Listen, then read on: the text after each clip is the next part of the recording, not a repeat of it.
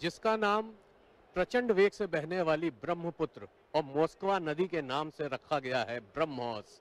ऐसी मिसाइल जो दुश्मन के दिलों में एक कंपन पैदा कर देती है और भारत का नाम उनके दिलों पे एक खौफ के तौर पे लिख देती है ऐसी मिसाइल के जो मार्क, जो chief general manager marketing and promotion हैं, प्रवीण पाठक साहब, ये ब्रह्मोस मिसाइल जो यहाँ पे डिफेंस एक्सपो 20 में यहाँ पे डिस्प्ले की गई है, ये कहा जाता है कि सबसे बेहतरीन दुनिया की मिसाइल्स में से एक है और आप लोग इसको किस तरह से प्रमोट कर रहे हैं?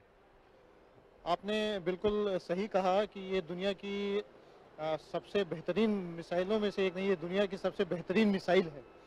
और सबसे पहली बात इसमें यह है कि इसकी स्पीड, जो कि 2.8 मैक की है, जो कि अनुमानतः एक किलोमीटर प्रति सेकंड की रफ्तार से उड़ती है और अपना 300 किलोमीटर का डिस्टेंस ये करीब छः से सात मिनट में कंप्लीट कर सकती है। इतनी तेज़ी से मार करने वाली मिसाइल दुनिया में इस श्रेणी में कोई और नहीं है।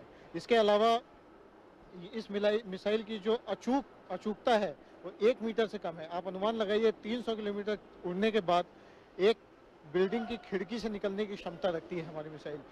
और तीसरी ये हर तरह के प्लेटफॉर्म में हम लोग लगा सकते हैं। ये यूनिवर्सल मिसाइल है। इसको हमने शिप में लगाया है अपनी जल सेना के लिए।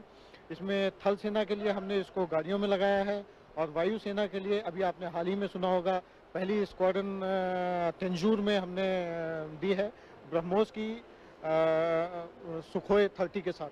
तो इस तरह की मिसाइल जो कि हर प्लेटफॉर्म में लग सकती है, जिसको लॉन्च करने में 10 मिनट का समय चाहिए और छः से सात मिनट में वह दुश्मनों के ठिकानों को नष्ट कर सकती है। दुनिया में कोई और नहीं।